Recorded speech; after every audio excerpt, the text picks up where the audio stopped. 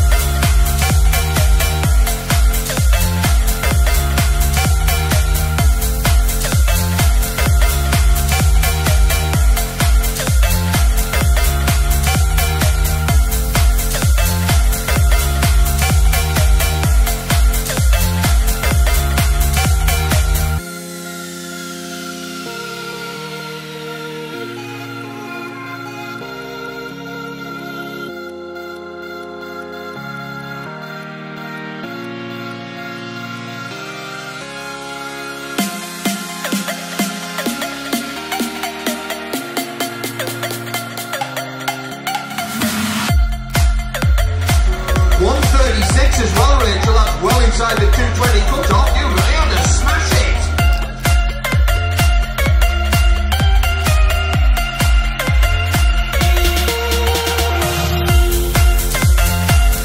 Final grip of Quidditch